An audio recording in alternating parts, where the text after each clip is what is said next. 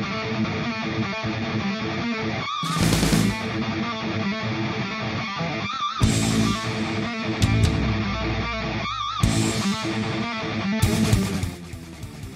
speed.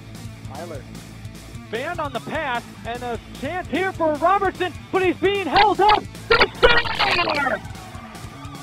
It's Jake Robertson who drew the penalty.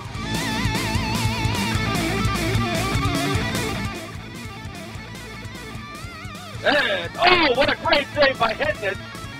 I thought that was almost in for sure. He stuck that leg out and prevented the Warhawks from tying this one up. Now Taraszewski in. He'll slip around. up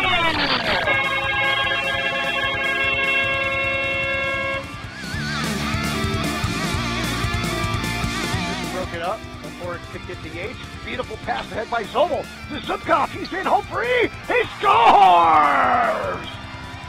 Highlight reel there. the net. What happened there? Now here's a showing opportunity. Busting in, Magnavite. look to the back and the forth and a wide open net. They score!